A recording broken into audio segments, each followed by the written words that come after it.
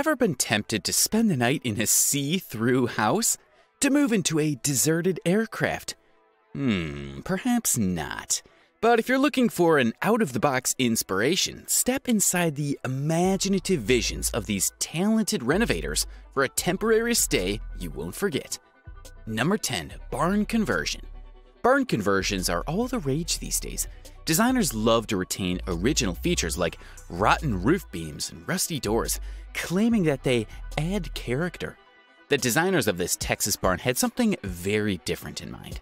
From the outside, the building has much character as the protagonist of an airport novel. It looks like a large corrugated iron shield. Therein, though, lies the genius of the design. If you want something to be truly secret, you disguise it.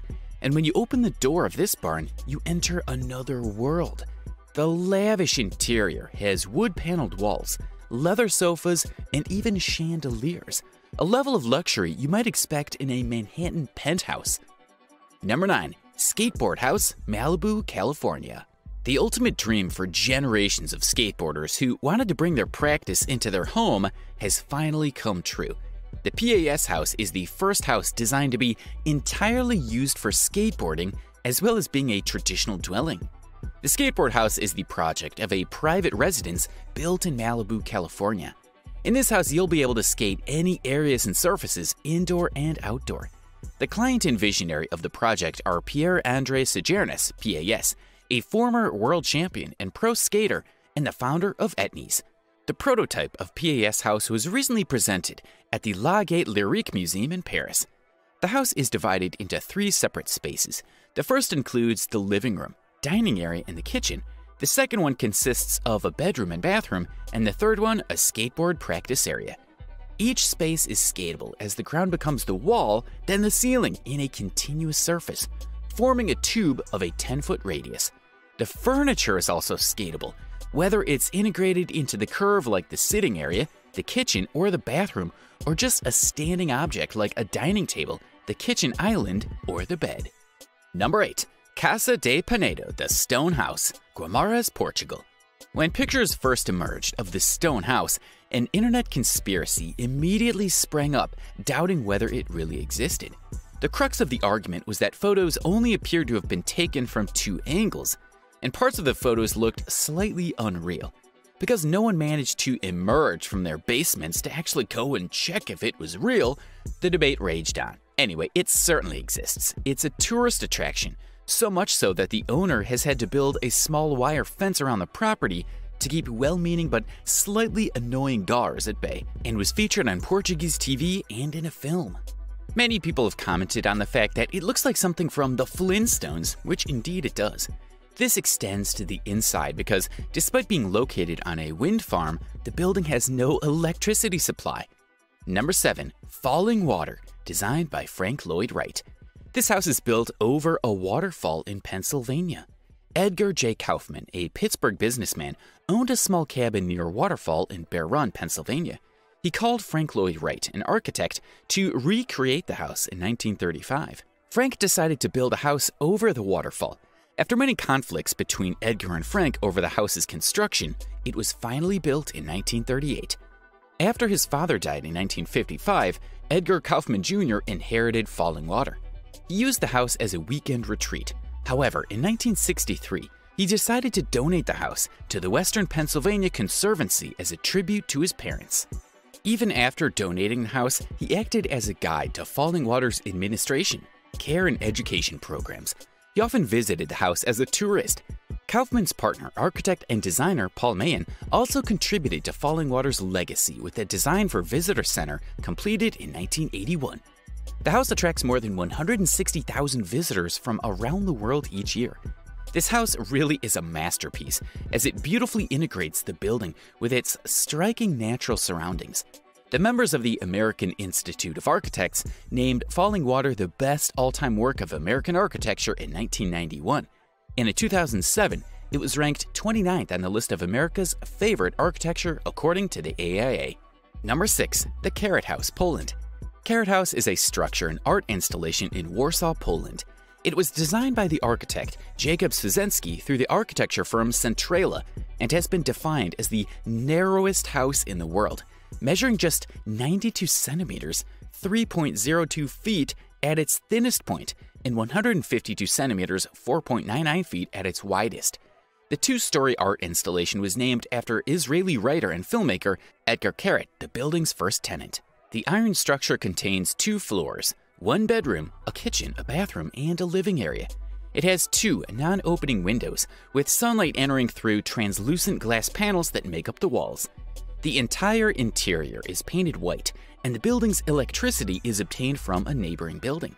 The house has custom water and sewage technology and is not connected to the city provided water systems. Because of its small size, the building only accommodates a small two beverage refrigerator, and occupants use a ladder to travel from level to level. Entry is via retractable stairs that, when closed, become the living area. In 2019, it was named one of the most iconic houses globally and included on a list of international projects honored by the architecture portal Iconic Houses. Number 5. Joshua Tree Residence. Designer James Whitaker, a London based photographer and architect, designed a unique home using shipping containers in the California desert in 2017. He arranged shipping containers at different angles to create a visually aesthetic effect. The 200 square meter home includes a living room, kitchen, and three bedrooms. It is a sustainable home with solar panels covering the garage roof. The containers appear to be like a starburst, with cuboids pushing out in all directions. James used concrete columns to lift the house off the ground. James explained the placement of containers. Each container is oriented to maximize views across the landscape, or to use the topography to provide privacy depending on their individual use. Number 4. Haewoojae Sim J. Deok. Mr. Sim J. Duok built a toilet shaped house in Suwon, South Korea in 2007. He later became the chairman and founder of the World Toilet Association. To build this house, he destroyed his own house where he lived for 30 years. His main motive behind creating this house was to increase awareness around sanitation and hygiene. He wanted to set international standards on how to clean public toilets. He named this house Haewoojae. This means a place of sanctuary to solve one's worries. This innovative house has two bedrooms, two guest rooms, and three deluxe bathrooms with water conservation devices. The entire house is made of steel, white concrete, and glass. After Sim died, the house was donated to the city and turned into a toilet museum. The house itself is the largest toilet sculpture in Korea. It has two floors of exhibitions about how important toilets are to the health of a society. Number 3. Dumpster Home, New York City. A California designer turned one of the ubiquitous steel receptacles for the trash into a unique living space that he calls home whenever he's in the Big Apple.